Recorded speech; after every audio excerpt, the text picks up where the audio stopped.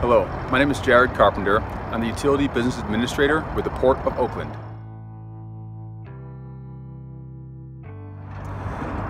My favorite part of the work that I get to do at the Port of Oakland in utilities is that we get to provide really unique sources with electricity, like the ships, like the cranes here at the harbor for Oakland Seaport, and also at the Oakland International Airport, we even power the planes before they're going to take off, of course, and also the equipment that pushes the planes out.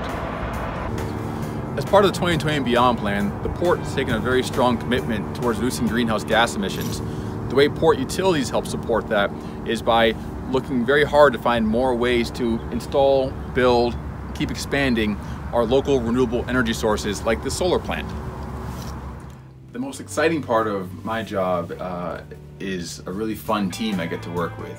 Michelle Chapman, Lynn Lynn, Callie Wynn, we get to work on a variety of things every day to make sure we can buy energy and get it delivered here effectively to the port. So sometimes it's in the field, taking readings and measurements to see what's using energy, is there a way to make it more efficient. So we're using technology um, to, to get more data on our electric system and on our water system um, to promote conservation of energy and water use um, for the port and its tenants. For the future, here's a cool thing we are testing right now an electric charging station that can talk to your vehicle, letting you know the best time to recharge with renewable energy. Um, I love that our customer base is, is small and so unique in that, you know, between the seaport and the airport and the real estate stuff, it's so exciting and fun to know them, to work with them. It really gives me a lot of passion and a lot of feelings just to know that we're doing the right thing.